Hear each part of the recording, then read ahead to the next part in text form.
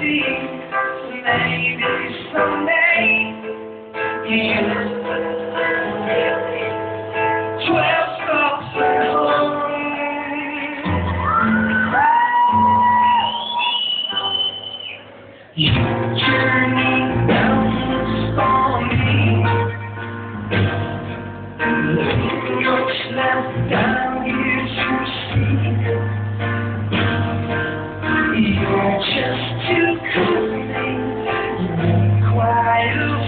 You pour out the school.